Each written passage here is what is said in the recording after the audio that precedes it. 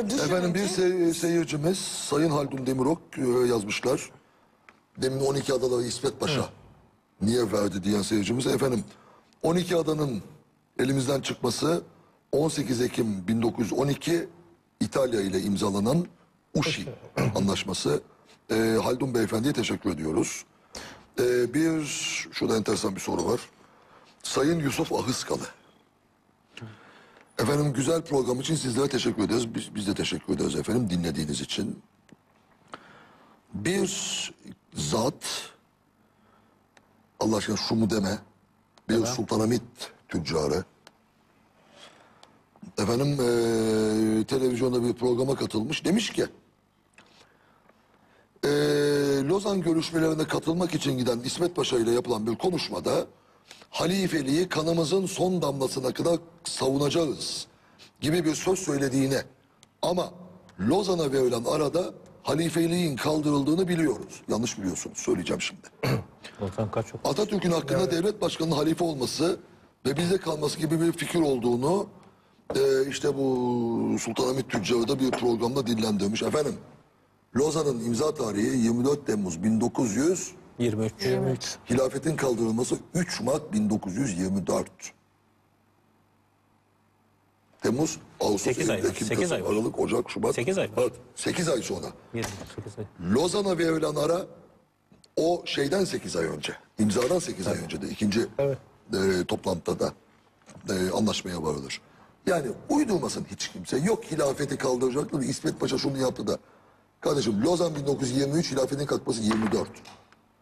Yani ve bunlar tarihçiliği ortada dolaşıyor.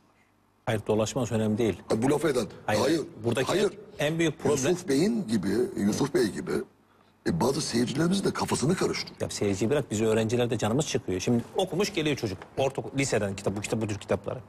Şimdi bunu karşısında siz tarihi belli bir objektifiteyle anlatıyorsunuz. Yani e, kendiniz zaman ve mekandan soyutlayamıyorsunuz ama orada anlatırken e, böyle herkesi sıfır hatalı devlet adamlarını görmek Evet, istiyor. maalesef Yani öyle bir işte. Fatih'in e, bir evliya şeklinde ulu bir kişi. Abdülhamit öyle görmek istiyor. Şimdi burada öğrenciyle belli bir çatışma yaşanıyor. Zaten Mesela bizim en büyük sıkıntılarımız biz çekiyoruz. Yani burada ve belli bir süre sonra çocuklar özellikle bunu kaynaklara inerek okumaya başladıklarında anlıyorlar. Fakat herkes bize gelen talebeler kadar şanslı değil. Yani özellikle maalesef e, ben birçok yerde ona rastlıyorum. Yani burada ve şu anlaşılamıyor. E, tarihte yaptığımız hataların farkına varamıyoruz. Yani tarihin en önemli fay- Tarih faydalarından şanlı- biridir tabii. Yani Tarih e, sadece.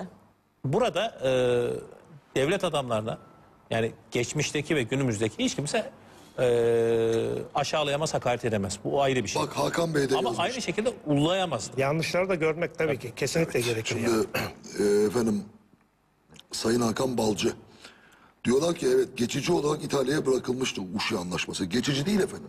Kalıcı olarak bırakıldı. Uşi Anlaşması'yla. Daha sonra Lozan'da sürekli olarak verilmiştir. Teyit edildi. Lozan'da o teyit edilmiştir. Birçok mesele teyit ediliyor. Çünkü Uşi Anlaşması sırasında İtalya'nın o işgali sırasında bir e, Hakkı Paşa var sadrazam bir hamakat. Evet. Balkanlardan şeyler efendim İtalyanlar Libya'ya çıkıyorlar. Sadrazam Paşa İtalyan seferiyle pokerde o gece. Burada. ve eski İtalyan seferi üstelik Evet. iyi, iyi tanıması lazım İtalya'yı yani. Yani ve eski Roma Büyükelçisi bu adam. Ya Bizim elçilerimiz çok iyi. Bir hamakat. Şimdi Asım diyorlar Bey vardır öyle Balkanlardan. İkinci Dünya Savaşı'ndan sonra İtalya Türkiye'yi adaları geri alması için haber göndermiş. İnönü bunu reddetmiş. Yahu do- dolaşan bir söylenti 1943 doğru mu efendim? Evet söylenti palavradır. Siz Allah korusun savaşa girdik biz. Bilmem ne ülkesine haber, Yunanistan'a haber gönderip ya şu Gökçaylar'a, Bozcaada'yı da sen al der misiniz ya? Palavra. Hayır buradaki önemli meselelerden birisi şu. Ee, Amerikalılar ve İngilizler Türkiye'yi savaşa sokmak istiyorlar 43'lere 44'lere. Biz savaşın son günlerinde giriyoruz. Savaşa belki daha önceki dönemlerde girilmiş olsa e, bazı şeylerde talebiniz olabilir ama Türkiye ikinci hayır girmiyor Türkiye savaşa girmiyor. Yalnız Almanya zaten e, İtalya değil Almanya'nın işgalinde 12 adalar. O 1943 yılında Almanya'nın işgalinde Evet, Almanya Alman çekilirken e, orada yaşanan bir takım şeyler. Fakat o uzun bir meseledir yani.